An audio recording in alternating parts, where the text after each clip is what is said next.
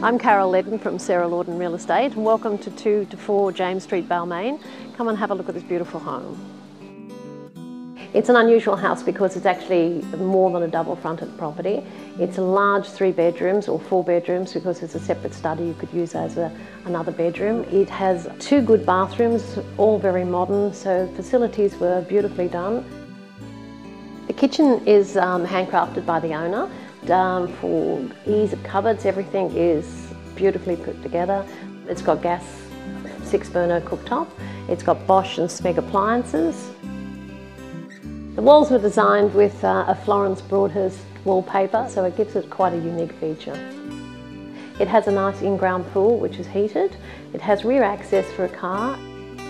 There's a good side deck where you can sit out under cover, so even if it's raining you can just spread out from the dining room. Any time of the year, any time of the day, it's a very pleasant place to be. I think one of the unique things about this property is it's freestanding. It's one level, it's tucked away and a lot of people don't actually know this area so it's always very quiet. It's only a few moments from Punch Park, it's five minutes walk to the main part of Balmain and it's very close to all of the schools, anything is within walking distance. Thank you for viewing 2 to 4 James Street, Balmain. It's a charming home. It does go to auction on the 6th of November at 1.30, so please do come and view or give me a call and I can fill you in on any information you might need about the home.